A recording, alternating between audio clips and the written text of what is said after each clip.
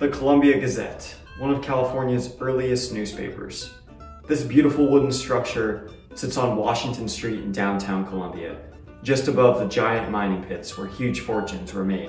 The newspaper was the original mass information distributor, in some ways the precursor to social media today. The Columbia Gazette was one of eight newspapers in Columbia in just 14 years.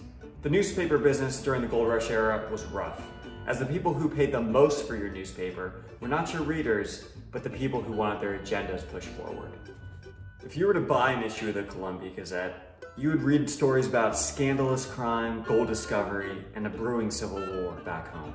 The Columbia Gazette building stands today as a symbol of the fickle early newspaper industry and the unending quest for knowledge in the human spirit. Hey, thanks so much for watching. For more content like this, check out our social media links below.